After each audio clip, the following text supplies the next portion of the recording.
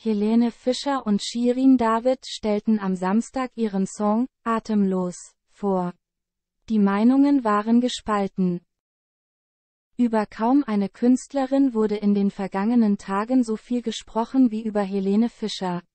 Seit die 39-Jährige vor einigen Tagen bekannt gab, dass sie zusammen mit Shirin David ihren Überhit, Atemlos, neu aufnahm, wurde diskutiert.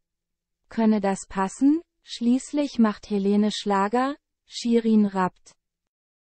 Und auch als die beiden den Song am Samstagabend, 25. November 2023, das erste Mal bei Wetten, das performten, waren die Meinungen gespalten. Neben viel Lob für den Auftritt der beiden Powerfrauen, gab es auch heftige Kritik. Und das vor allem von Seiten der Helene Fischer Fangemeinde.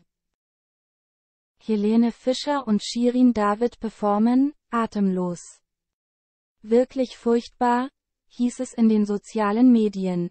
Oder, sorry, aber Shirin David passt absolut nicht zu Helene. Helene scheint das nicht wirklich zu berühren. Ihr Lieben, die letzte, Wetten, das, Sendung mit Thomas Gottschalk. Ein Abend, der mir wahrhaft in Erinnerung bleiben wird. Vielen Dank, dass ihr dabei wart.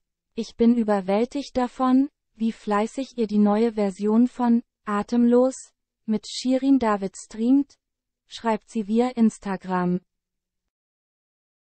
Fans haben genug von dem Gemecker.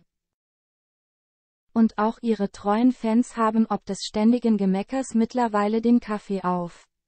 Diese Kommentare sind so affig. Helene ist auf der Bühne eine Künstlerin, die mit ihrer Privatperson überhaupt nichts zu tun hat. So wie wir alle auf Arbeit unseren Job machen. Es ist ein Projekt, eine Hommage, die offensichtlich Helene gefällt, an, atemlos. Wem es nicht gefällt, skip or scroll. Es ist weder freizügig noch billig. In jedem Freibad seh, ich mehr Mops und Arsch. Es ist Unterhaltung. Kritik äußern ja, Hate nein, schreibt ein Fan auf dem Instagram-Account von Helene. Und ein anderer ergänzt, also ihr habt definitiv gezeigt, dass Musik keine Grenzen kennt und Schubladen veraltet sind.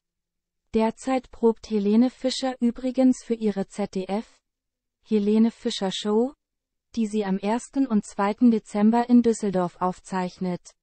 Mit dabei wird auch Shirin David sein.